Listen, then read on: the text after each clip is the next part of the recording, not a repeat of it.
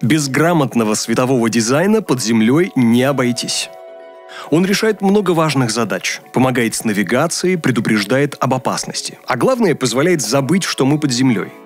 Какие типы освещения лучше всего работают в метро?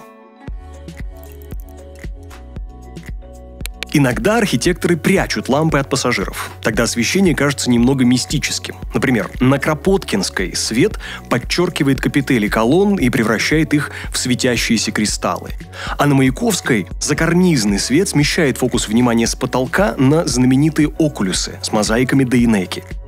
Современные станции не отстают от советских. На Сретенском бульваре закарнизное освещение визуально увеличивает высоту приземистого потолка – на Пятницком шоссе вытягивает зал в длину, а на Савеловской предупреждает о приближении к краю платформы за счет контраста света и тени. Второй тип – встроенные светильники.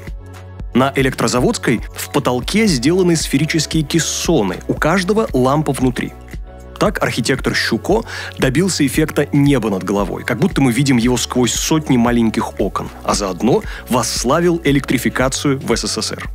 На Сухаревской другой прием. Световой фриз из матового стекла визуально отрывает свод от пилонов и облегчает облик станции. А на Достоевской можно увидеть авоиды Льва Попова. Они создают эффект рассеивающейся тьмы и служат символом света, который зарождается под землей. В метро нет солнечного света, но можно создать его иллюзию с помощью световых панелей.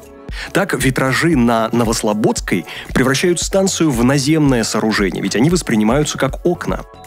Иногда архитекторы не маскируют, что метро находится под землей, а наоборот, это подчеркивают. Например, на Фанвизинской световые панели отражаются в отполированном граните. Транспортному тоннелю вторит световой, создавая гипнотический эффект бесконечности движения. А станцию Новопеределкино бюро United Riga Architects превратило в хай-тек терем с декоративными световыми панелями. Растительные орнаменты напоминают узоры в древнерусских палатах. Источники света не всегда прячутся от пассажиров. На многих станциях светильники расположены на стенах и потолках. В таком случае они не только освещают пространство, но и декорируют станцию – на Октябрьской кольцевой бра стилизованы под факелы и символизируют победу в войне. На Менделеевской светильники в виде молекул объединены в световую инсталляцию и создают эффект парящего свода. А на Окской светодиодные кольца под синим алюминиевым потолком напоминают круги, которые расходятся по воде.